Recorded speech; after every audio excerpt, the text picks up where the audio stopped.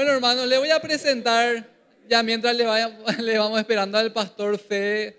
Eh, desde, lado, desde mi lado izquierdo voy a presentar al querido maestro de nuestra iglesia, Flavio Recalde.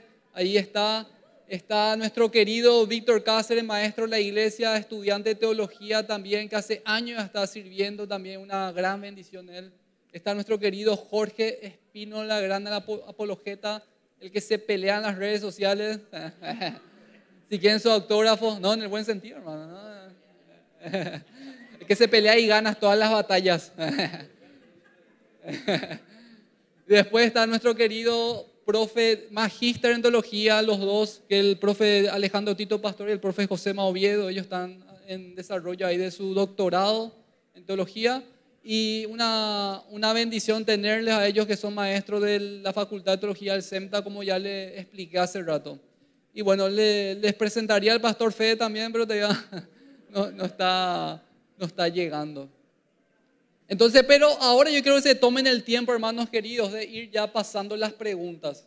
Por favor, entren a MQB Joven en la cajita de preguntas y vayan ya enviando sus preguntas y como les dije, algo que no quedó claro, algo que les gustaría aprender, algo que, algo que esté relacionado a todo lo que estamos hablando en cuanto al Congreso. No, hay nada para preguntar noviazgo y todo eso. ¿Cómo era el noviazgo en la reforma protestante? Algunos le van a buscar la vuelta, eso ya sabemoslo ya, pero ese no, no va por ahí la mano. Entonces, ahí ya viene nuestro querido pastor. Y ya vamos a ir entonces desarrollando este tiempo que va a ser bastante distendido y que todos vayamos aprendiendo juntos.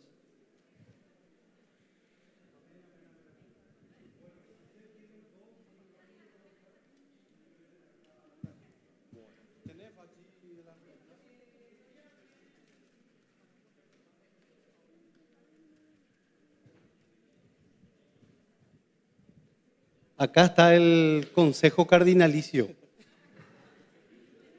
El magisterio está acá. Está viendo si la sola escritura es correcta o no. Bueno, gente, mientras van enviando las preguntas por redes sociales, también abrimos el micrófono acá si alguien quiere hacer alguna pregunta abierta. No va a haber ningún problema. Lo bueno es, hermano, que no tenemos que tener vergüenza.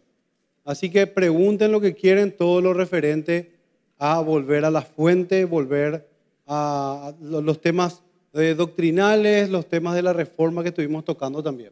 ¿Sí? No está el pastor Adolfo, no está el profe Nelson, pero prácticamente están todos los oradores, así que tenemos que aprovechar. Este es el momento de preguntarle lo que quieran. Quítenle el jugo a estos varones de Dios.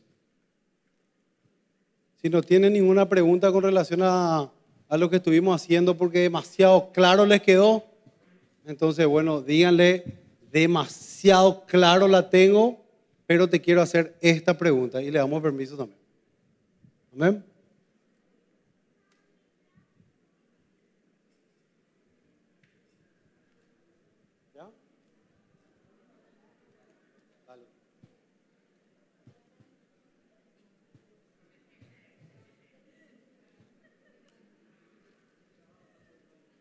Vamos a leer. Sí, sí. ¿Puedes leer? Dale un micrófono, varón. Yo voy a tener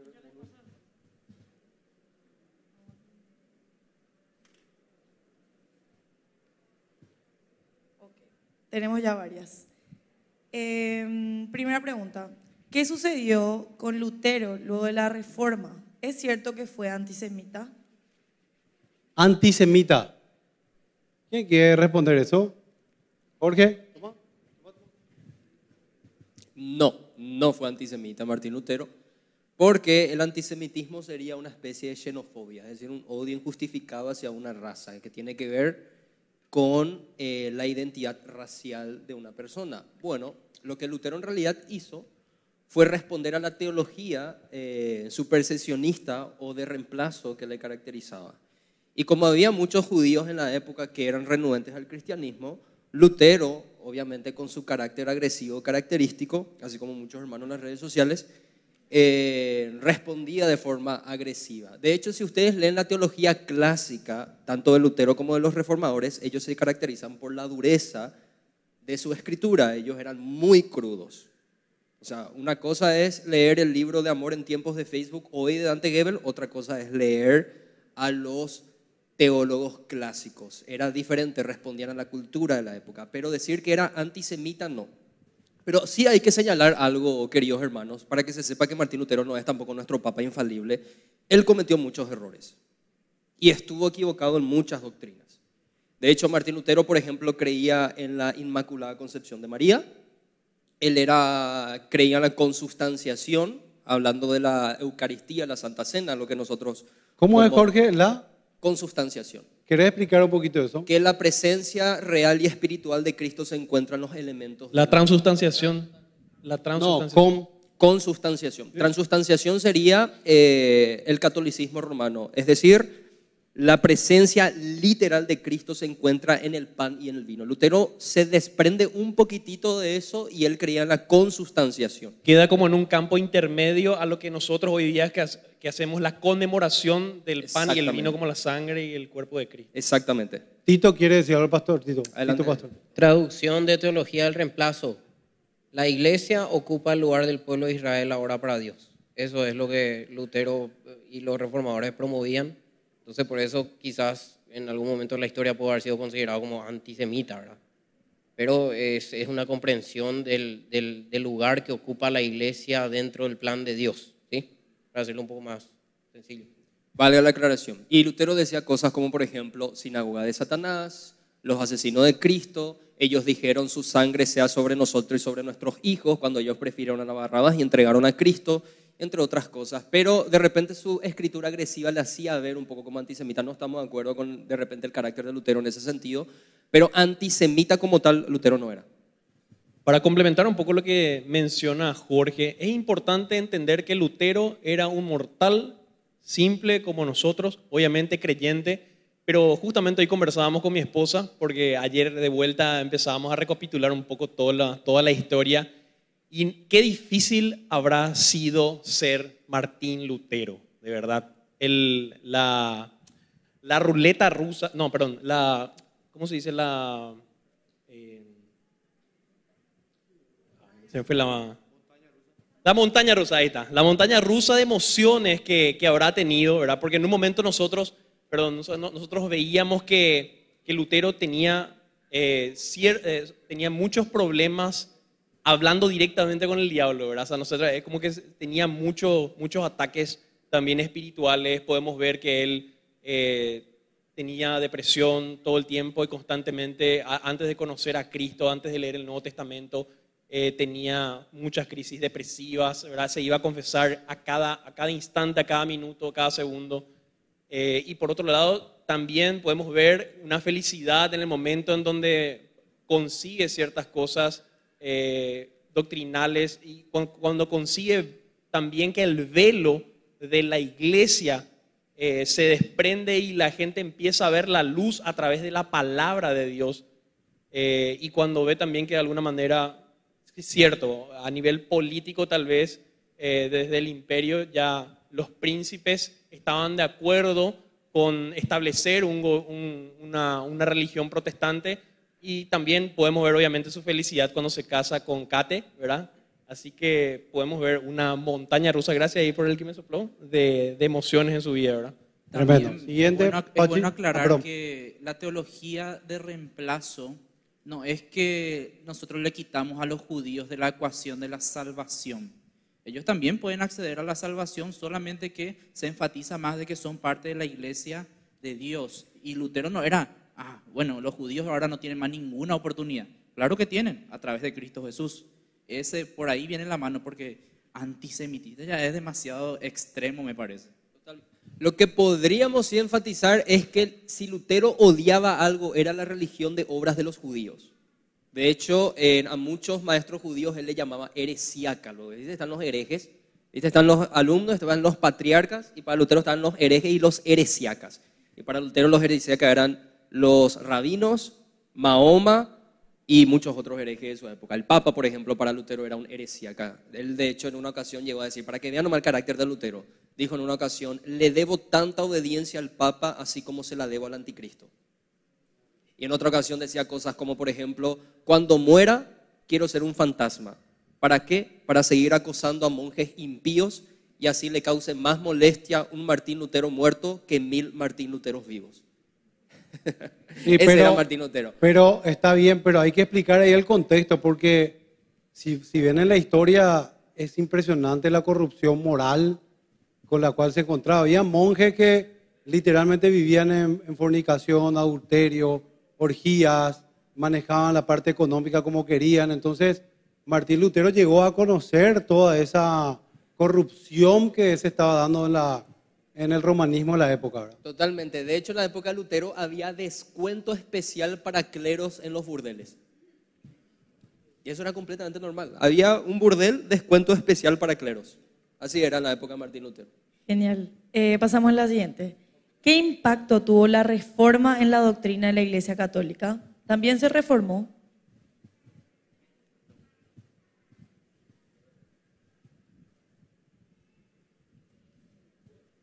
Sí, también se reformó la Iglesia Católica ¿Qué Romana. impacto tuvo la reforma en la doctrina de la Iglesia Católica y si esta también se reformó? Sí se reformó.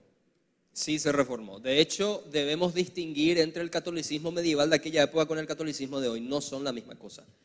La reforma protestante al principio y la respuesta inmediata del catolicismo clásico era renuencia. De hecho, eso podemos ver en Concilio Vaticano I.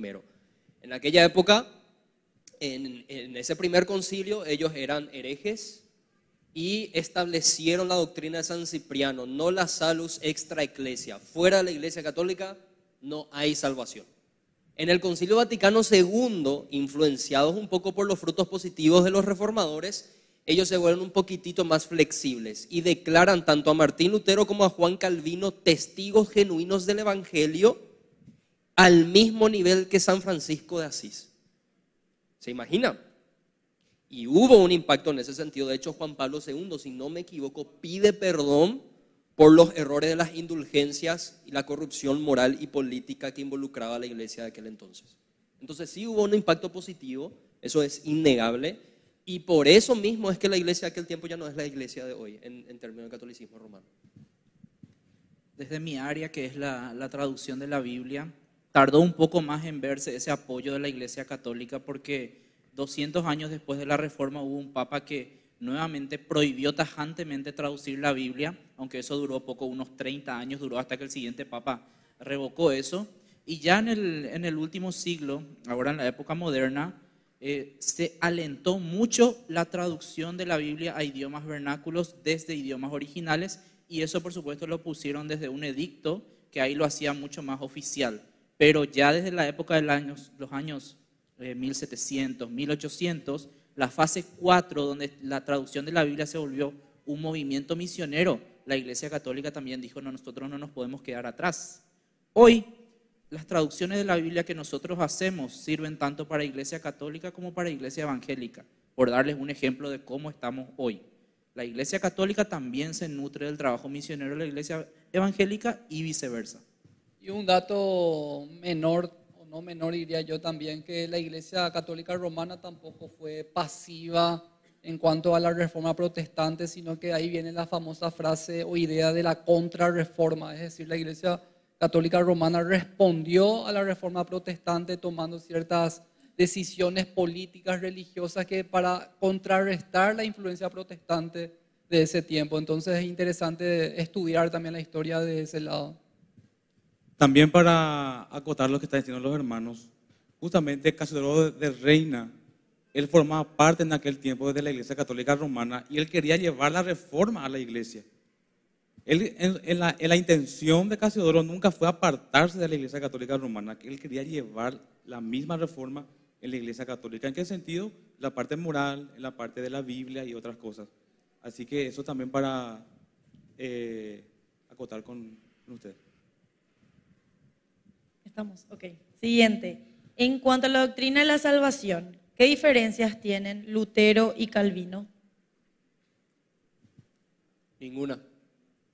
En la esencialidad de la salvación, solamente por gracia, solamente por fe, y el factor determinante de dicha salvación, que es Dios, no hay ninguna, ninguna diferencia. La única diferencia que pudiera existir es que Calvino fue el primer teólogo sistemático que llegamos a tener, teólogo laico. Es decir, no se formó nunca Calvino en términos institucionales, pero hoy las universidades, por ejemplo, llevan su nombre.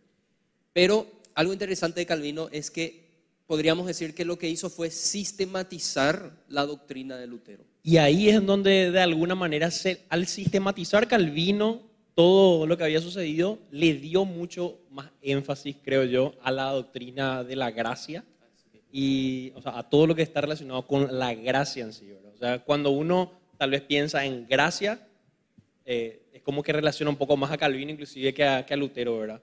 Tenemos que entender que fueron lugares diferentes también, o sea, no fue en Alemania en donde Calvino hizo un trabajo, ¿verdad? Tuvo más apertura en Suiza, ¿verdad? Y, y bueno, fue un poco diferente. Mayor énfasis. ¿Qué dice Menos Simons, profe, sobre, sobre estos temas? La reforma radical sí tiene algunas diferencias soteriológicas con los reformados. sí. Bueno, lo que pasa es que hay que entender también que eh, la, la reforma protestante fue una reacción a la doctrina católica. Entonces, todo movimiento reaccionario generalmente va hacia el otro polo, ¿verdad? Eh, fíjense que eh, Lutero, por ejemplo, primero eh, desechó la epístola a Santiago porque hablaba de la fe y las obras, ¿verdad? Después, después él comprendió mejor el tema de la, la doctrina de las obras y bueno, sí, la- la- las obras también colaboran con la fe y bla, bla, bla, ¿verdad? Y la, reforma radical y, y- y, bueno, y todos los, los- las denominaciones derivadas de ella, eh, bueno, tienen un tinte un poco más arminianista, ¿verdad? Arminiano, ¿verdad? Entonces, ahí por eso Jorge me, tiró el... pero eh, sí, después se fue depurando la doctrina reformada, porque la doctrina reformada surge como reacción a la doctrina católica, que era obra, obra, obra, bueno, vamos allá, gracias, gracias, gracias, y bueno, después encontramos un punto eh, de discusión, ¿verdad? Eh, hay que entender a cada, a cada teólogo, hay que entenderlo en su tiempo y hay que entender con quién está conversando, ¿sí? To- todos los teólogos conversan con alguien. Lutero estaba conversando con la iglesia de su tiempo. Eh, entonces, eh, hay que entender esas, esas cuestiones contextuales para, para una respuesta. Gloria a Dios. Algo interesante más que quería destacar también con respecto, por ejemplo, ya relaciones con las cinco solas.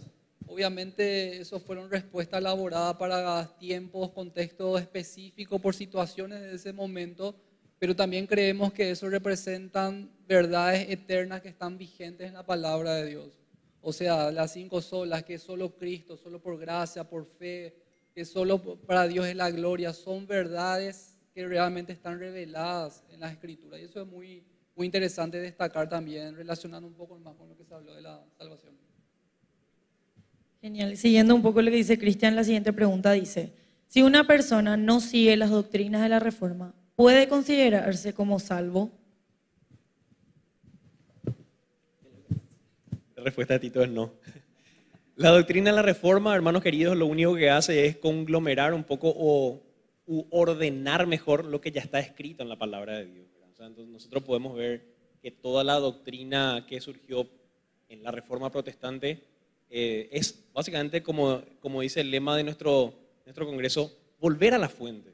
Porque claramente la iglesia se había apartado de la raíz, de la fuente, y la reforma lo que hace es reenfocar otra vez a la palabra de Dios.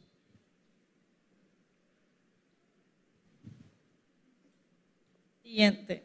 Eh, ¿El Dios del catolicismo es el mismo Dios del cristianismo?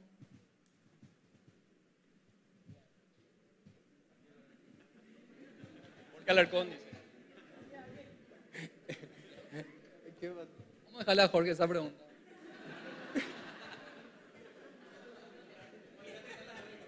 No es, no es. Bueno, si me preguntan a mí, yo creo que sí es. Me cuesta, o sea, me cuesta creer que el Dios de Santo Tomás Aquino, por ejemplo, un teólogo que yo admiro mucho, no sea. O, o de San Agustín, eh, que no, no, no haya sido el Dios verdadero. Yo creo que es, es el Dios verdadero. Yo no creo que el catolicismo como tal sea una secta y al mismo nivel que los mormones, por ejemplo, y por lo tanto los que están ahí están destinados a la perdición. Porque si creemos eso, implícitamente estamos diciendo que solamente los protestantes, alguien que se haga protestante, puede ser salvo y estamos cayendo en el mismo rol de San Cipriano y nos convertimos en los próximos católicos medievales y vamos a necesitar otra reforma más. Entonces, eh, yo creo que es el mismo Dios.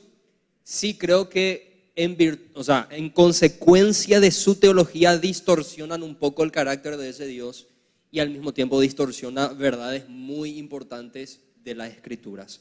Creo que un católico se puede salvar, por supuesto que se puede salvar porque la salvación es por fe y por gracia. Hay muchos católicos que tienen fe en la obra de Cristo en la cruz y saben que la salvación es por gracia. Así también entre los protestantes hay muchos que no se van a salvar.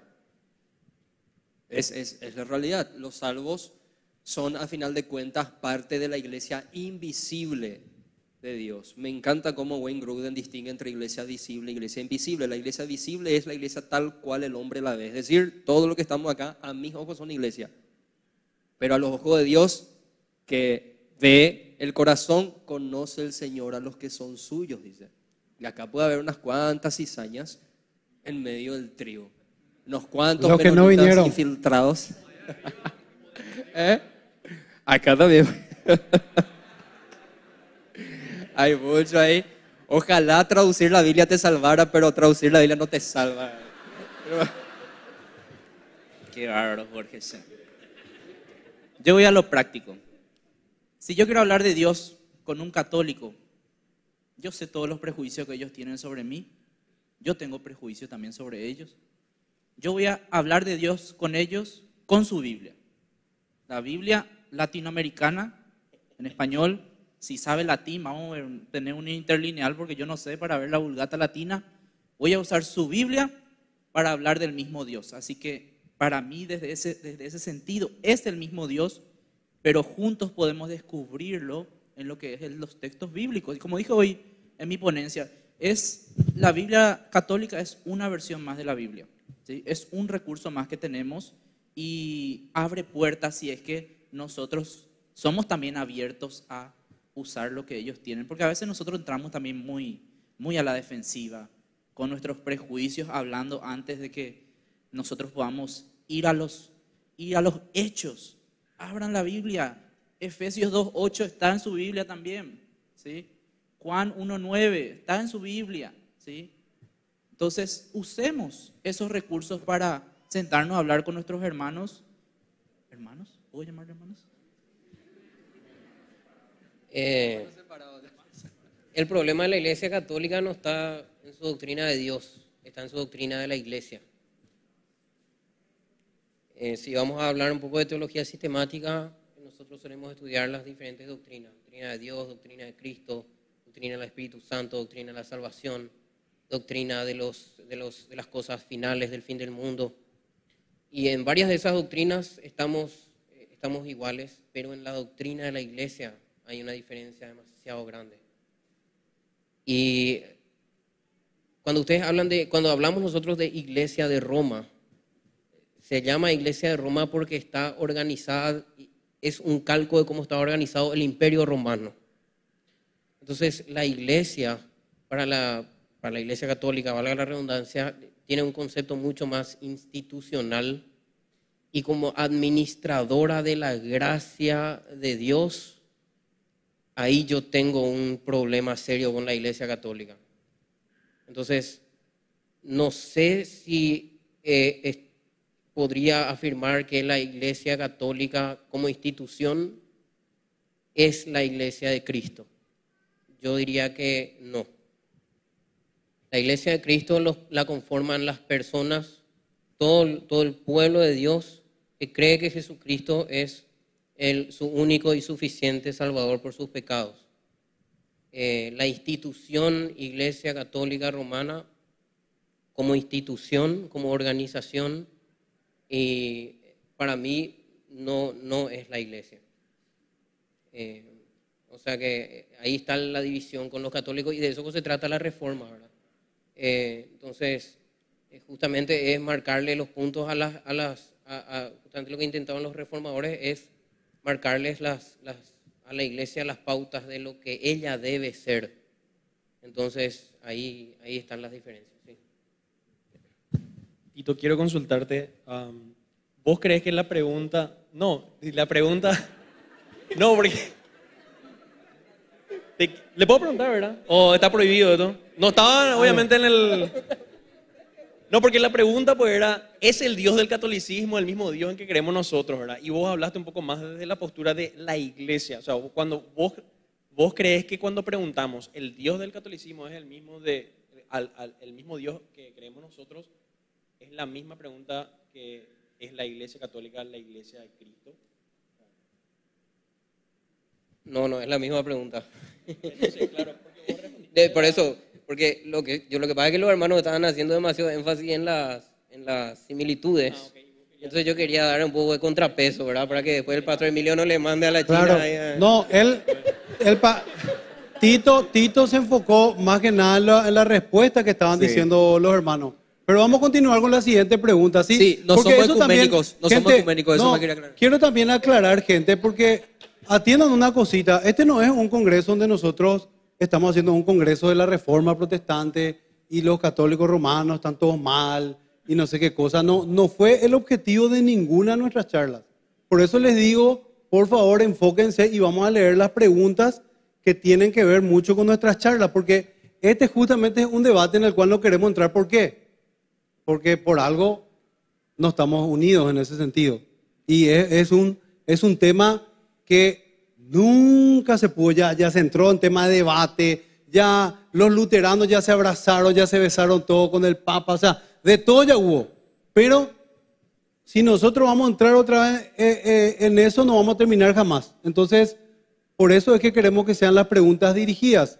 Y permítanos, si es que por ahí vemos una pregunta que no corresponde con relación al tema, porque nos vamos a desviar, vamos a, a- a pasar a otra pregunta. ¿Sí? Está bien, por favor. Sí. Siguiente. La reforma protestante dice tener la verdad absoluta en cuanto a la interpretación bíblica y si no, ¿quién la tiene?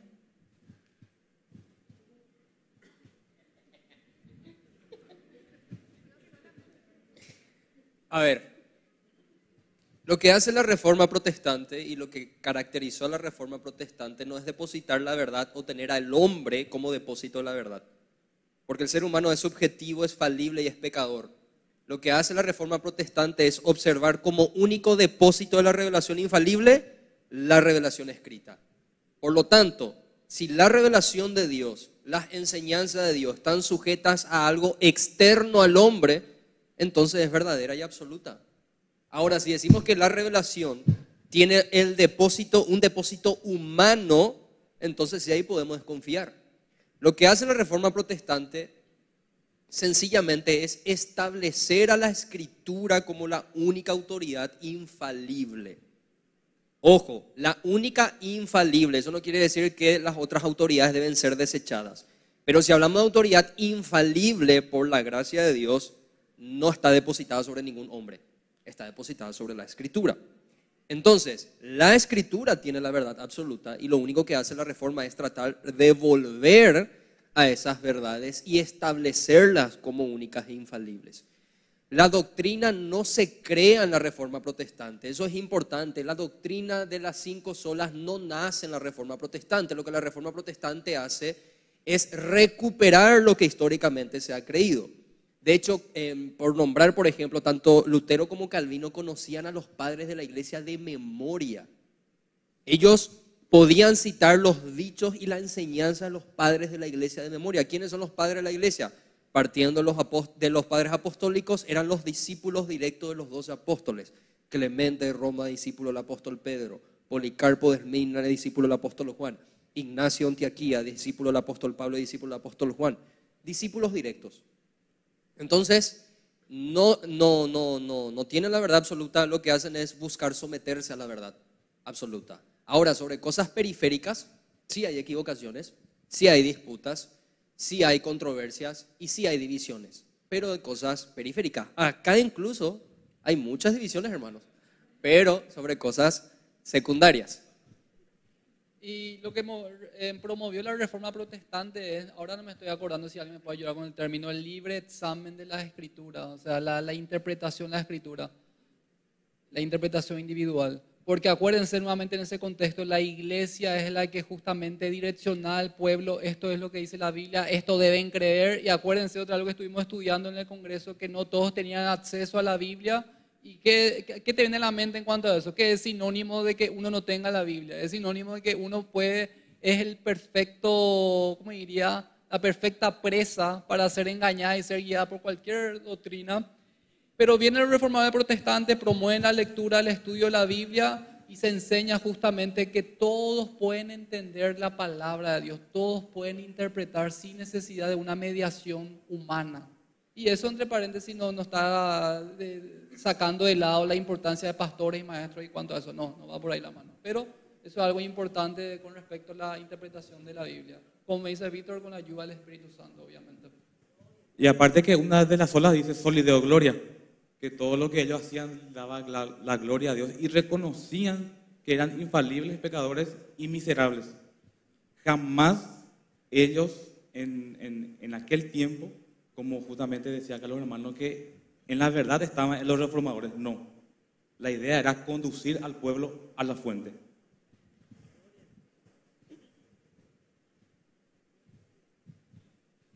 Lutero y los reformadores son, marcan un hito en la historia de la reforma nomás. La reforma ya empezó de antes. Siempre hubo gente levantándose en contra de... eh, ¿Qué es lo que le salvó acá entre nos? ¿Qué es lo que le salvó a Lutero? Lo que estaba hablando el pastor Adolfo, la imprenta. ¿verdad? Porque Lutero, Lutero tenía en sus manos ya la, la- la- la capacidad de divulgar sus conocimientos de un modo muy, muy rápido. ¿verdad? Entonces, eso impidió que los católicos le liquiden, o si no, quizá hubiera sido un, eh, un mártir más de la Iglesia Católica, ¿verdad? Porque Lutero se volvió famoso muy rápido, entonces eso impidió que la, que la Iglesia Católica lo, lo, lo- lo persiga en aquel tiempo, ¿verdad? Entonces, eh, siempre hubo gente a lo largo de la historia abanderando volver a la Escritura, ¿sí? Eso- eso hay que tener en cuenta. La, la imprenta y también Federico Sajonia.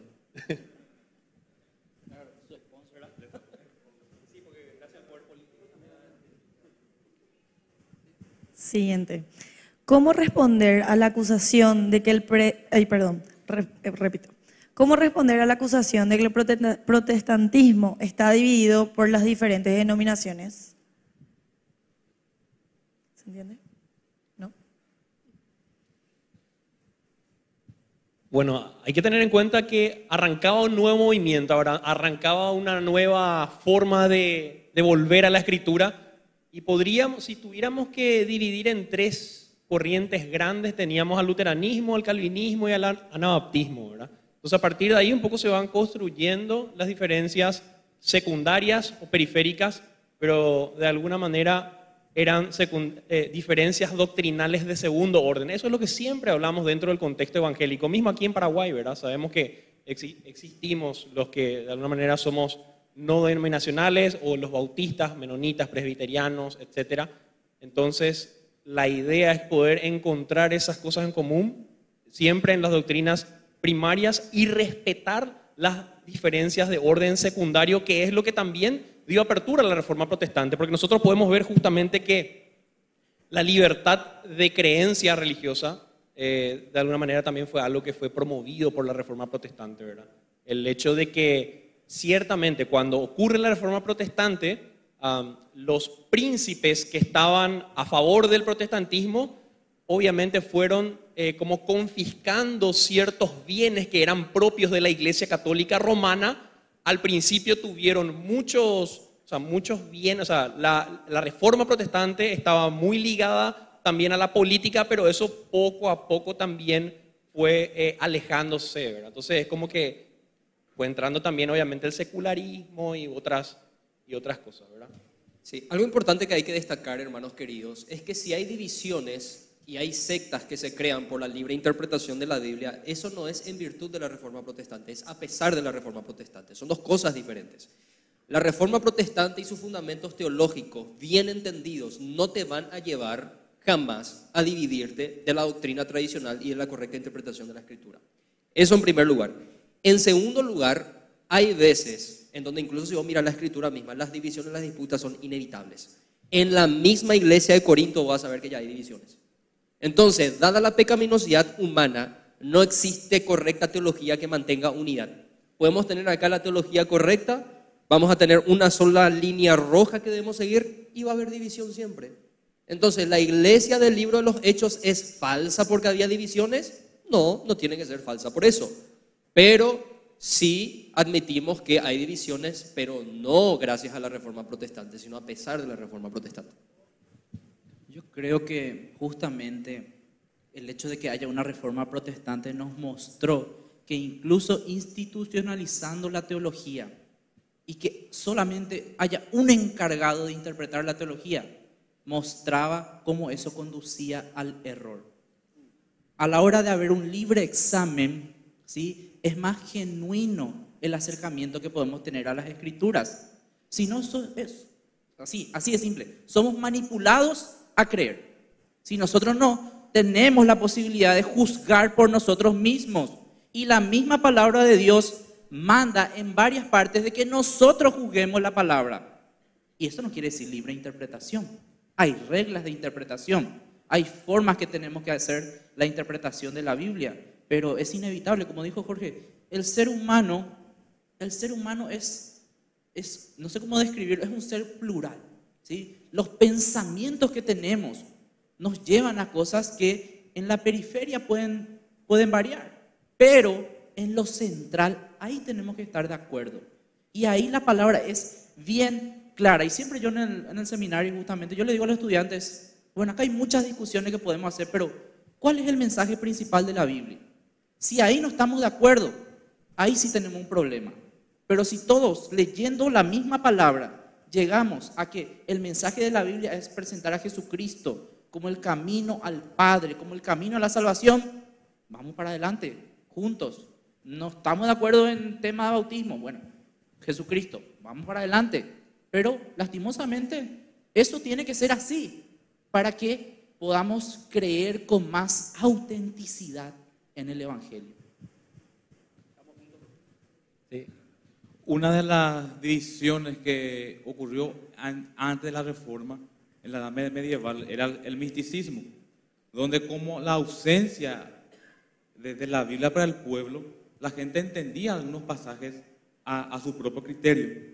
Cuando nosotros leemos, por ejemplo, la carta de, de, Pedro cuando dice que somos participantes de la naturaleza divina de Dios, ellos entendían de que el hombre podía ser igual a Dios a través de rituales.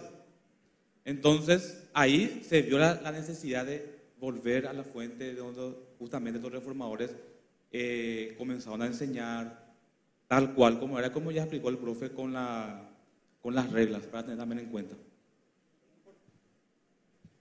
Hola, hola. Es importantísimo que nosotros como creyentes podamos identificar cuáles son las doctrinas primarias o de primer orden y las centrales que decía justamente Josema, y cuáles son las secundarias. ¿Cómo vamos a poder identificar eso? Estudiando teología sistemática. Entonces, habiendo entendido esto, nosotros podemos darnos cuenta que tenemos una diferencia, como, dicen, como dice Josema, en la pluralidad, como por, con, con los menonitas, con los presbiterianos, etc. Y tenemos una diferencia primaria, por ejemplo, con los mormones o los testigos de Jehová.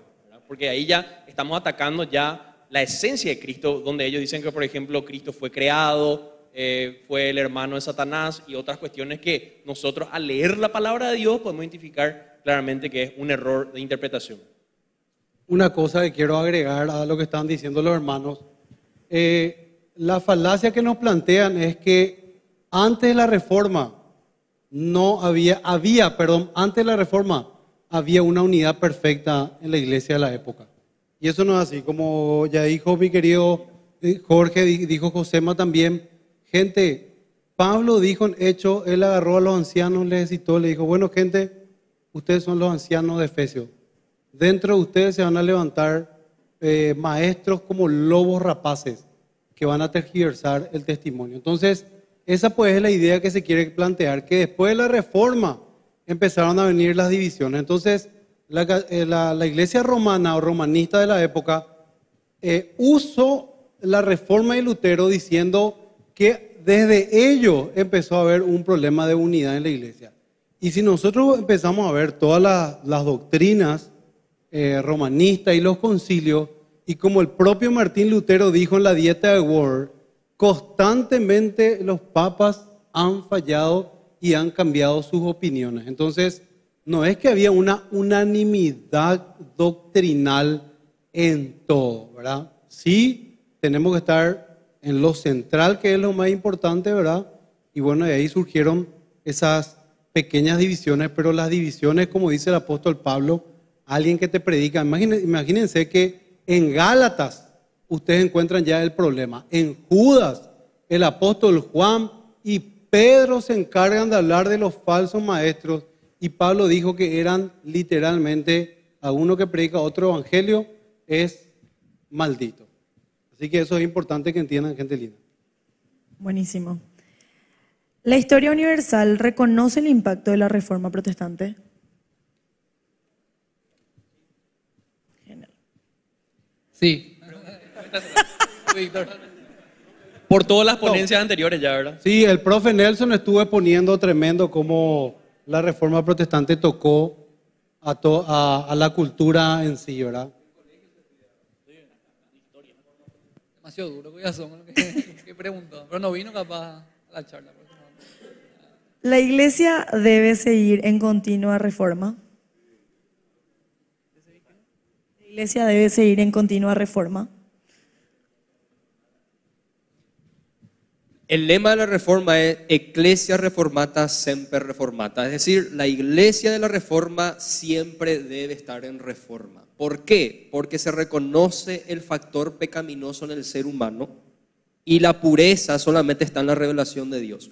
Por ende, nosotros tenemos que estar en una continua sumisión a la verdad de Dios.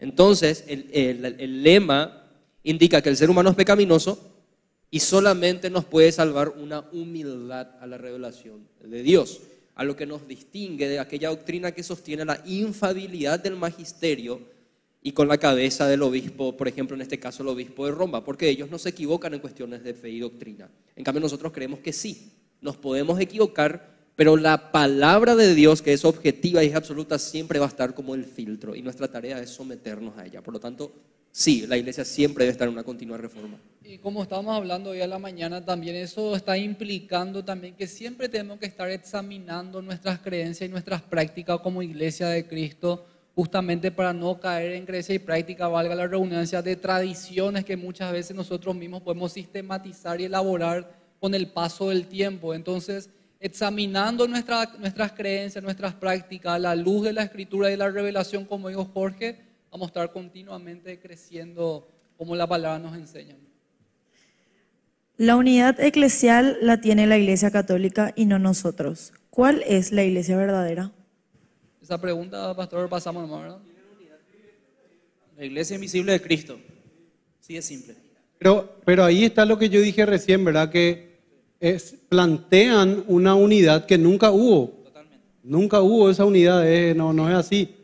Desde Hechos los Apóstoles hubo el problema y también constantemente concilio. Inclusive hoy estuvimos viendo cómo los exponentes estaban mostrando que un concilio dijo prohibido eh, predicar la palabra de Dios, ¿verdad? Y eh, argumentó Josema y dijo, no, ese no eran concilios gene- generales, eran concilios, ¿cómo dijiste? Locales. Locales y eh, por una situación específica. Entonces, no era un concilio universal. Y ahí vemos cómo ellos doctrinalmente nunca se mantuvieron también en una, en una, en una sola fe, como es la que plantea la palabra de Dios, que sí, en la palabra de Dios nosotros podemos encontrar una fe y un verdadero bautismo. Totalmente. Un ejemplo, pastor, eh, de, de esta aparente unidad, que no es cierto, lo tenemos a nivel individual. Por ejemplo, le cito a un gran católico, un gran teólogo historiador que incluso nosotros estudiamos, John Paul Mayer, por ejemplo, un gran académico que no cree en la Inmaculada Concepción de María.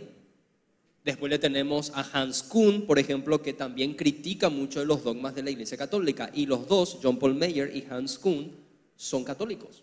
Entonces, a nivel individual tenemos división, también a nivel institucional. Y el caso más famoso es la división de Iglesia Oriente y Occidente. La Iglesia eh, oriental, en ortodoxa, y la Iglesia occidental, en este caso, en Roma. Ahora, ¿por qué se simula una aparente unidad? Sencillo, porque cuando hay una objeción te excomulgan.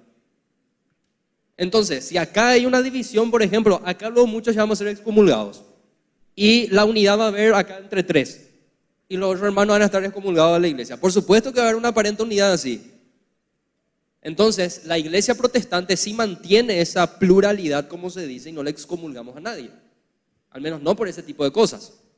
Entonces, la unidad es porque excomulgan, Dos, no hay unidad a nivel institucional. Tres, no hay unidad a nivel individual. Entonces no hay nada de que jactarse. Y como dijo el pastor Fede, siempre hay división. En la iglesia verdadera de Cristo, lo vimos al principio mismo, incluso entre los doce apóstoles de Cristo había división. Discutían quién es el mayor, había sido uno entre ellos el diablo y así sucesivamente. Sí, y la otra parte de la pregunta hablaba sobre eh, cuál es la, iglesia verdadera. Yo creo que hay que hacer énfasis en lo que mencionó Josema de que la iglesia verdadera, nosotros en teología distinguimos iglesia local de la iglesia universal.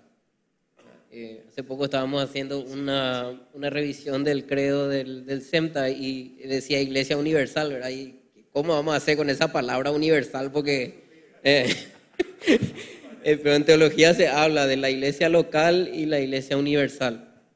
Y y la Iglesia Universal la conforman todos aquellos que genuinamente creen que Cristo es su Salvador, su Redentor y tienen al Espíritu Santo en ellos como testimonio, como arras de su herencia, ¿verdad?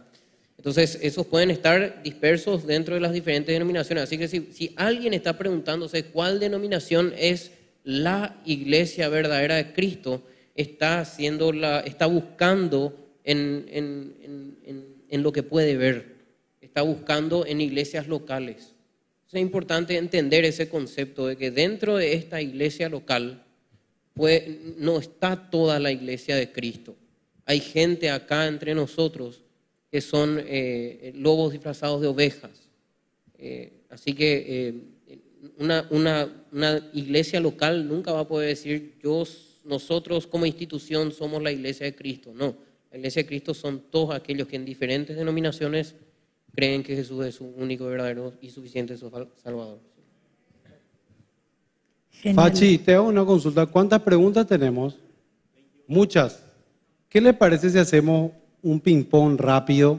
Entonces va diciendo así, respondiendo, respondiendo, para que la gente no se quede sin respuesta porque ya llegamos a la hora. Dale. Pero tenemos todavía un tiempito, ¿verdad? Para un poquitito más, tal vez unos 10 minutos. Entonces podemos hacer un ping-pong rápido respondemos y, y, también muchas cosas, muchas de las que están preguntando tenemos en obrero aprobado y en nuestra escuela bíblica, así que no se pierdan también de ser Estamos saltando igual algunas que no son relacionadas. También pueden acercarse, sí. Y absorbanle todo lo que quieran.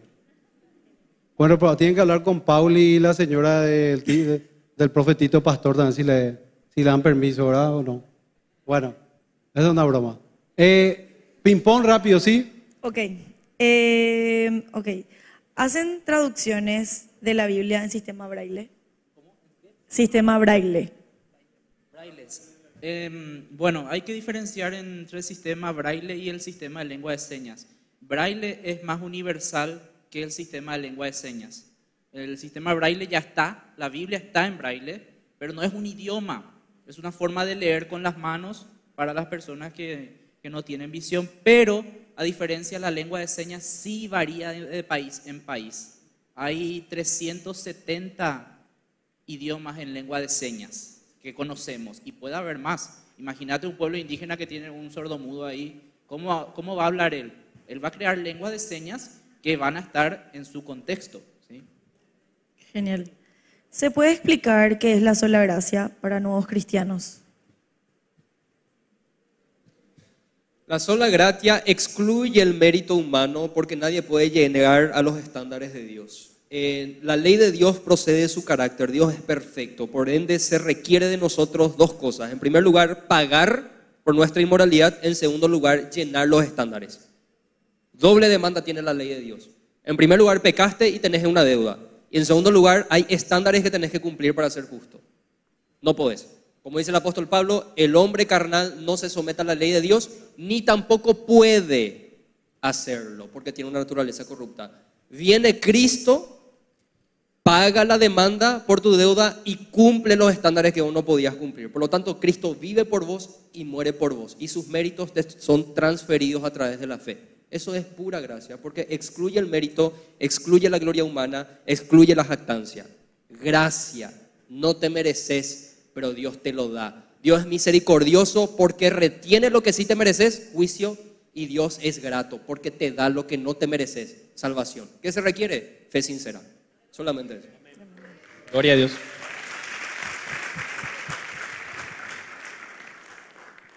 Al pedir el Papa Juan Pablo II perdón por las indulgencias, coloca en duda la infabilidad papal.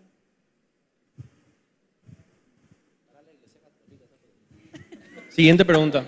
Siguiente pregunta. Eh, ok, ¿cómo respondemos a las objeciones de la sola escritura de los católicos? Cuando está... ¿Podemos pasar a una siguiente que no esté relacionada a la. Iglesia Católica tanto?